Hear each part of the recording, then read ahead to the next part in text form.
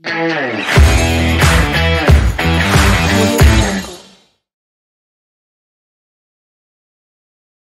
budur-budur semua dan teman-teman semua yang mendengarkan podcast Jawa Ragia. Balik lagi nih di podcast Jawa Ragia edisi kedua. Nah, mungkin sebelum lebih lanjut lagi, perkenalan dulu kali ya. Mungkin saya Abel dari Teknik Geologi ITB 2022. Di sini bakal ditemanin sama Angel dari Teknik Geologi ITB tahun 2022. Nah, mungkin kita bakal bahas apa sih Angel hari ini? buat podcast Jawara kali ini. Yang kedua ini kita bakal bahas tentang paleo tsunami. Ya, menarik banget ya pastinya. Mungkin teman-teman juga udah pernah ada yang dengar nih kata paleo tsunami atau bahkan belum pernah mendengar nih kata paleo tsunami. Nah, di podcast Jawara Gia kali ini kebetulan kita bisa mendatangkan uh, seseorang yang expert banget ya, ahlinya di bidangnya gitu ya, Angel. Selamat pagi Pak Aswan. Selamat pagi Abel, selamat pagi Angel ya. Ya, mungkin boleh nih Angel, siapa sih Pak Aswan ini mungkin diperkenalkan dulu ya. Oke, okay. uh, eh, mungkin aku kasih gambaran dikit tentang uh, profil Pak Aswan. Pak Aswan merupakan salah satu guru besar Fakultas Ilmu dan Teknologi Kebumian yang memiliki uh, kelompok keahlian paleontologi dan geologi kuarter dan sekaligus menjadi dosen di uh, prodi Teknik Geologi ITB. Uh, mungkin kita langsung aja ya ke pertanyaan mungkin ya. Oke, okay. uh, dari bapak sendiri nih dari bapak sendiri, apa sih uh, arti atau maksud dari paleo tsunami? Oke, mungkin kalau tsunami kita sudah biasa ya, sudah tahu ya. Jadi kejadian ombak yang besar, yang sangat merusak di tepi pantai yang umumnya itu eh, kejadiannya setelah kejadian gempa yang cukup besar ya. Mungkin eh, kita orang eh, yang tinggal di Indonesia ini mulai aware gitu ya, mulai sadar tentang tsunami ini sejak kejadian eh, tsunami Aceh tahun 2000 2004 ya dan tsunami Pangandaran 2006 ya waktu itu. Nah, jadi eh, kita kan di geologi itu ada konsep the present is the key to the past ya. Jadi kita mempelajari tsunami itu sebenarnya untuk mempelajari juga kejadian-kejadian tsunami sebelumnya gitu ya. Nah kejadian tsunami sebelumnya oke lah uh, sementara kita sebut sebagai uh, paleo tsunami ya karena dia uh, sudah lampau gitu ya kurang lebih itulah. Jadi kejadian tsunami yang lampau yang yang mungkin tidak terekam lagi oleh kita gitu ya. Kalau kalau tsunami Aceh, tsunami Pangandaran kita kan banyak saksi mata langsung gitu ya, yang melihat kejadiannya. Nah, kalau pada tsunami, kejadian-kejadian tsunami yang lampau yang mungkin tidak sempat terekam lagi di catatan juga nggak ada catatan sejarah. Mungkin nggak ada. Kira-kira kayak gitu ya. Mungkin menariknya di sini adalah lampaunya itu ya Pak. Kalau misalkan kita dulu belajar paleontologi kan bisa dikatakan fosil berarti umurnya lebih dari 10 atau 11 ribu tahun yang lalu tapi kalau misalkan paleo tsunami ini gitu endapannya itu sebenarnya apakah selama itu juga atau ada rentang waktu tertentu tuh pak nah ya kalau ini agak unik ya karena ini kan berkaitan dengan sejarah-sejarah yang bisa dilihat langsung ya oleh masyarakat, oleh saksi mata sekarang gitu. Jadi ada dua mashab lah. Mashab yang pertama itu mengikuti Undang-Undang Cagar Budaya tahun 2010 jadi kejadian-kejadian yang lebih tua dari tahun 1950 itu di, sudah boleh kita oh. katakan paleo gitu. Jadi oh. paleo gempa dalam hal ini kita paleo, paleo tsunami, tsunami gitu ya. ya. Tapi ada masa lain karena kan BMKG ya Badan Meteorologi dan uh, Geofisika itu dia membuat katalog katalog gempa dan tsunami gitu. Oh. Nah itu juga banyak kejadian-kejadian tsunami dan uh, gempa yang tua yang tercatat di situ. Nah jadi masa yang kedua seandainya uh, kejadian tsunami itu lebih tua atau tidak tercatat di katalog itu yeah. kita boleh menyebutnya sebagai uh, paleo tsunami gitu ya. Kira-kira kayak gitu uh, definisinya memang agak beda ya yeah. dengan paleo yang paleontologi, paleontologi yang yang, iya, uh, yang selama ini kita pahami kan kalau paleontologi itu sekitar 11.700 mungkin yang terakhir ya. Kalau ini mungkin uh, eh, 1950 atau lebih tua atau tidak tercatat. Tidak Dan yang lebih tua tentunya. Ya. Jadi kalau misalnya ada kejadian-kejadian tsunami yang jutaan tahun lalu ya tetap kita tetap nyebutnya paleo juga paleo tsunami gitu. Baik, ya kira-kira gitulah per definisinya kenapa jadi paleo gitu ya oh. di depan tsunami-nya. Siap. Ya. Mungkin juga para pendengar podcast ini juga penasaran gitu. Sebenarnya kenapa sih Pak kita harus melakukan satu penelitian mengenai paleo tsunami ini? Nah, itu pertanyaannya yang sangat menarik sebetulnya ya. ya. Jadi uh, yang utama itu kita itu mungkin ya, mungkin ada kejadian-kejadian gempa yang menyebabkan tsunami yang merupakan siklus gitu ya. Kalau kalau nggak salah setahu saya itu Aceh gem- gempa dan tsunami Aceh itu sekitar 100 tahun sekali ya. Jadi Oh, 100 ada. sekitar 100 tahun sebelumnya itu kejadian gitu. Jadi kalau yang sempat beruntung ya diturunkan secara turun temurun cerita itu. Jadi kalau nanti air apa te- setelah bumi bergoyang kemudian air laut surut, jangan berlari ke pantai mencari ikan menangkap, jangan larinya ke gunung gitu. Nah, cerita itu diturun turun temurunkan. Jadi kalau yang sempat eh, mendengar cerita itu, mereka pada saat gempa Aceh itu dan air laut surut tidak lari ke laut Laut, ya, ya. tidak menangkap ikan karena laut surut, tapi lari ke gunung. Betul. Nah ini juga kira-kira harapannya begitu ya. Jadi kalau kita mempelajari paleo tsunami, kan dalam satu apa ya perlapisan-perlapisan kalau di geologi Iya. perlapisan-perlapisan endapan tsunami itu eh, kita bisa teliti lah, teliti itu terutama berkaitan dengan eh, kapan kejadian tsunami itu terjadi gitu ya. Kita mungkin tahu yang dari geologi kita pakai metode dating ya radioaktif. betul, iya. Biasanya kalau yang umurnya sampai 200 tahun lalu kita pakai metodenya PB 2010 ya, PB 2010. Nanti kita bisa kita harapkan eh, kita bisa tahu dari satu lapisan tsunami ke lapisan yang lebih muda ke yang lebih muda lagi, intervalnya itu berapa kali kejadian eh maaf, berapa tahun sekali, berapa puluh tahun atau mungkin berapa ratus tahun sekali. Sehingga harapannya kalau sudah datang masanya Misalnya ini intervalnya nih sekitar 30 tahun sekali nih. Berarti jadi kalau Aceh tahun. 2004, jadi tahun 2034 hati-hati itu ya. Jadi kalau ada gempa ya jadi mulai diberitahu lah mulai di apa diberi penyuluhan seandainya nanti ada gempa besar kemudian air laut surut ya segera jangan larinya ke laut larinya ke tempat yang lebih tinggi. Kemudian juga mungkin eh, kalau seperti di Pangandaran itu saya lihat bagus ya ada shelter. Jadi shelternya itu eh, kira-kira tingginya mungkin berapa ya? Mungkin 10 meter dari permukaan eh, tanah pasir pantainya gitu jadi dan dibuat apa pa- tangganya itu tidak tidak terap-terap gitu ya. Jadi tangganya itu datar gitu ya. Datar tapi ininya kesat gitu ya. Jadi kalau orang berlari itu eh, relatif dia tidak akan terpleset jatuh iya, tapi bisa cepat ke tinggi bisa menyelamatkan diri. Ya kalau kita lihat gempa eh maaf tsunami Palu itu ya padahal kan tangganya tangga mall itu tapi Iya, ibu-ibu itu karena panik ya jatuh Iya, ya. jadi jatuh karena tangganya ber- apa ada step-stepnya itu gitu. Nah kira-kira kayak gitu lah supaya kita bisa antisipasi sehingga kalau terjadi lagi tsunami kita bisa meminimalisir eh, resikonya gitu ya akibat eh, negatifnya. Kira-kira itu ke eh, tujuan utama dari mempelajari eh, paleo tsunami ini. Kurang lebih berarti ada bisa mengetahui periode ulangnya mungkin betul ya, Pak? betul. Kapan berikutnya Biar- terjadi gitu iya, kerja biar ada antisipasinya juga buat prediksi tsunami berikutnya terjadi gitu ya. Oke, mungkin tadi kita udah bahas ya secara general apa sih itu paleo tsunami, tujuannya apa dan sekarang nih kayak kita udah mulai ke penelitiannya ya Pak ya. iya. Jadi eh, Bapak boleh jelasin eh, bagaimana sih karakteris karakteristik dari endapan paleo tsunami itu sendiri? Oke ya, eh, jadi gini Kak, ilmu itu kan berkembang ya. Mungkin kakak-kakak kelasnya juga kan ada yang tugas akhirnya endapan eh, tentang endapan tsunami gitu. ya.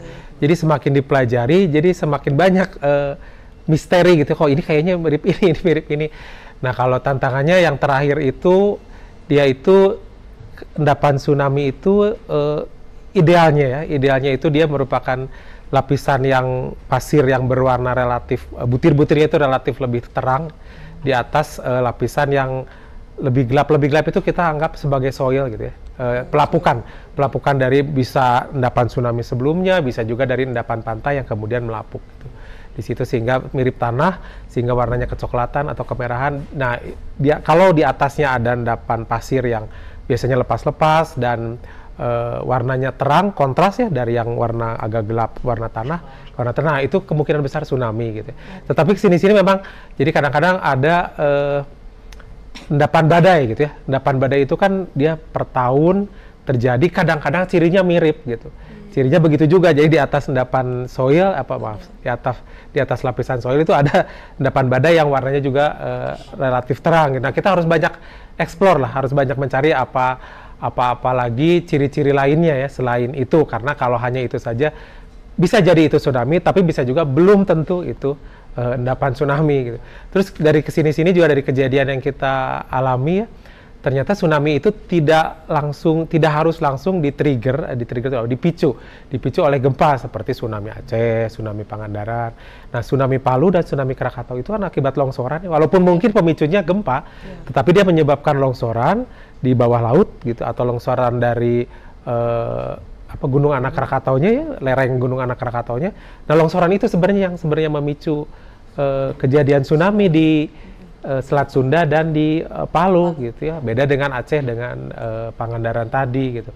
Nah, jadi ternyata uh, penyebab tsunami itu juga setelah kita pelajari, kita mengalami ternyata juga macam-macam gitu ya.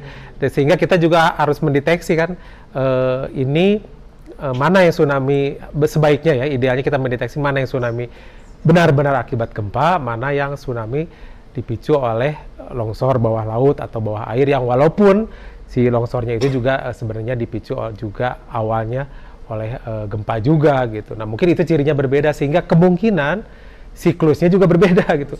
Kalau yang langsung dipicu oleh gempa dan yang dipicu oleh uh, longsor tadi gitu kira-kira ya. Selain juga berbedaan dengan apa uh, endapan badai tadi. Nah itu kita harus lebih banyak ekspor sehingga kita bisa lebih uh, bisa lebih apa ya lebih memastikan oh kalau ini tsunami nih sehingga nanti kita tinggal tentukan umurnya kapan dia terbentuk berarti gempanya tsunami kapan terjadi nanti kita cari siklusnya kira-kira gitulah tantangannya yang dihadapi selama ini gitu. Ya. Uh, Oke, okay. berarti buat karakteristik uh, interpretasi awal kita tuh pak uh, pasirnya itu relatif terang betul. yang berada di atas di uh, uh, lapisan soil, ya? soil betul ya soil. Oke. Okay. Uh, mungkin langsung di selanjutnya apa ya? Uh, bagaimana tahapan penelitian pen, tahapan penelitian untuk menelusuri jejak paleo tsunami melalui penelusuran endapan tsunami tadi, Pak? Nah, yang paling ideal biasanya kalau kita paling ideal itu uh, info lah, info dari masyarakat gitu ya. Oh, bahwa oh di sini tuh misalnya nih waktu tsunami Pangandaran di misalnya di Cilacap, di Cilacap ini kena nih. Hmm, iya. Di Cilacap kena, berarti kita carinya ya di sekitar pantai di sekitar Cilacap, uh, Cilacap kalau tidak di Pangandaran Cilacap gitu ya. Kita cari di situ nanti di mana uh, tempatnya yang kira-kira paling ideal ideal tuh tidak ada bangunan sekarang hmm. tidak pernah digali kemungkinan juga dia tidak tererosi yeah, yeah. tidak kena tererosi oleh ombak ataupun tererosi oleh hujan, hujan gitu ya. biasanya yeah. dicerukan apa ya lembah gitu itu biasanya uh, lebih ideal nah nanti mungkin kita gali dulu sedikit kadang-kadang kalau beruntung kita bisa ketemu yang juga udah jadi dinding gitu ya kita lihat oh kelihatan langsung si pasir yang terangnya itu di atas pak uh, paleosoilnya yang lama gitu Nah terus kita cuplik ya, kita ambil sampelnya. Setelah kita deskripsi lah, kita deskripsi kira-kira kenampakan di lapangannya si lapisan endapan tsunami itu seperti apa. Iya. Kadang-kadang macam-macam juga tuh. Jadi kadang-kadang uh, floating apa ya. Uh, jadi ada fragmen-fragmen yang besar tuh mengambang gitu, hmm. mengambang di uh, batu pasir yang terang tadi, tadi gitu. Ya. Fragmennya itu bisa kerikil, bisa kerakal, bisa pecahan koral, hmm, iya, bisa iya. cangkang moluska, pecahan cangkang moluska juga bisa yang besar-besar. Tapi dia mengambang gitu ya. Jadi gravity settling apa uh, apa namanya pemisahan karena gravitasi itu mestinya nggak berlaku karena kan tsunami dia ombaknya sangat kuat ya. Umumnya umumnya uh, dia energinya sangat kuat, tapi terendapkan cepat gitu. Jadi tidak tempat dia uh, tersorting gitu ya. Tidak sempat dia terpilah oleh gravitasi sehingga dia mengendapkan dengan cepat jadi ya kasar-kasar tetap aja ada di tengah. Mau di pada saat dia diendapkan dia ada di situ. Nah biasanya ciri-ciri uh, tsunami itu kayak gitu gitu ya. Kemudian juga uh, pemilahannya buruk gitu ya. Kalau uh, badai dia kan berjam-jam kalau tidak iya. berhari-hari ber, jadi dia sempat terpilah kan dia ter apa namanya ter uh, sorting ya. Jadi uh, apa prosesnya itu uh, bolak-balik gitu ya. Mm-hmm. Dia uh, sehingga dia bisa terpilah yang kayak kasar dengan yang kasar saja kalau dengan halus saja. Kalau tsunami enggak, enggak sempat gitu karena dia energinya besar, besar. tapi uh, pengendapannya sebentar gitu sehingga kadang-kadang kalau untung tidak terpilah. Nah, cuman masalahnya itu kalau ada misalnya ada floating gitu ya, ada mm-hmm. fragmen-fragmen yang mengambang di masa dasar pasir yang terang itu itu sudah pasti tsunami. Tapi kalau tidak ada itu belum tentu bukan tsunami. Nah, itu yang jadi kadang-kadang jadi masalah. Jadi kalau beruntung kita dapat dapat bukti-bukti itu oke, okay, oh ini pasti tsunami nih. Gitu. Kita tinggal tentukan umurnya ya pakai metode radioaktif tadi. Tapi kalau tidak ada itu belum tentu, belum tentu bukan tsunami. Nah, itu kadang-kadang jadi masalah. Tapi secara umum begitulah. Nanti ya, yang supaya lebih pasti lagi kita gunakan uh, analisis lingkungan pengendapan kan kalau tsunami kan uh, idealnya dia terbawa dari lingkungan laut yang lebih dalam ya, ya lebih dalam daripada pantai. Kan kita ya. cari biasanya di sekitar pantai lah atau tidak jauh dari garis pantai. Mungkin dia 100, 200 ya. meter, paling jauh setengah kilo, satu kilo. Masih pada area uh, apa namanya genangan tsunami. Gitu. Nah idealnya kan dia membawa tuh ya, membawa eh, pasir-pasir uh, yang dari laut yang mungkin apa neritik dalam ya neritik yang paling dekat ke darat gitu neritik tengah kalau ada syukur-syukur ada indikasi itu berdasarkan analisis foraminiferanya mm-hmm. kita ketemu lingkungan pengendapan asal dari endapan tsunami sedalam itu, oh itu kemungkinan besar dia tsunami. Kalau badai biasanya nggak nggak sampai menggerus sedalam itu biasanya ya, nggak meng- dia hanya eh, apa sampai sedikit di bawah dari eh, gerusan eh, ombak harian aja. Tapi kalau tsunami dia bisa lebih dalam menggerusnya sehingga kalau dia kita beruntung dia terbawa ke pantai terendapkan kita berdasarkan analisis eh, studi foraminiferanya kita dapatkan lingkungan pengendapannya memang dalam maka kemungkinan besar itu, Itu tsunami. tsunami gitu ya. Kira-kira secara umum begitu.